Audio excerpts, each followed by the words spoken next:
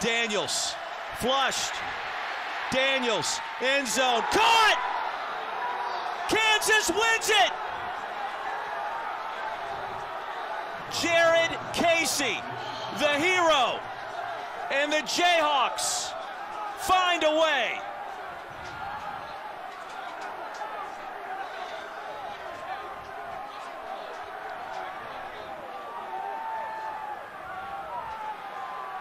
Well, Philly, remember why Jared Casey is even in the game. Your best receiving tight end, Mason Fairchild, got chopped to the ground and hasn't been in the game since.